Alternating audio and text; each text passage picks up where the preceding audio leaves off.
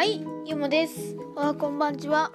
パズドラ実況パート4、あ、パート5やっていきたいと思います。で、今回パーティ、パーティーという、パーティーはアガソネパです。で、今回行くダンジョンは勇者のアジトです。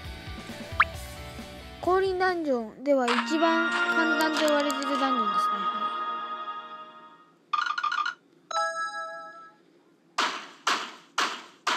まあ簡単と言われているんですが、そこで舐めたら負けです。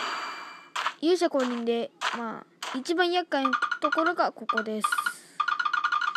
ここが一番めんどくさいです。まあ理由としては、まあ、スキルダメをしないと、まあここはダメですね。スキルダメしないと、まあ次の回も弱いんで、次の回が弱いんで、まあスキルダメができない。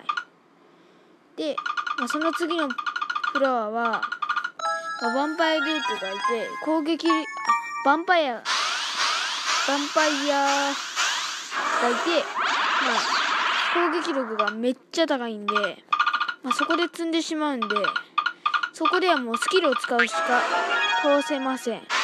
まあ、ウテナパとかで行けば、アクアソニアじゃなくて、光カーリーとかで。まあ、そんな感じですが、まあ、この悪魔パとかは、まあ、スキルがないと弱いんで、まあ、スキルで押すためにスキルダメをした方がいいと思います。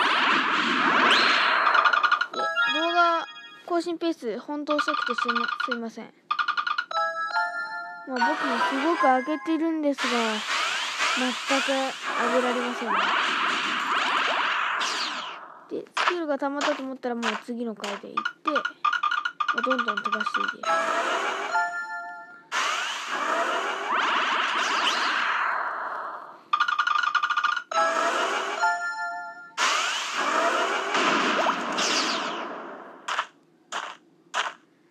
で、ここですね。まあさっき言ってた。ヴァンパイアデュークが出てきてうざいです。なので、ここから一発で抜きに行きます。ここで一発で抜きに行かないと、まあ、攻撃の攻撃力は結構高いんで、で、ボスは、まあ、超簡単。ただ、スキル解放して、コンボを、まあ、適当で、適当でもいいですね。適当には組みませんね、一応。こうすの場合は、まあ、こんな感じで解きます。短いですがご視聴ありがとうございましたチャンネル登録よろしくお願いします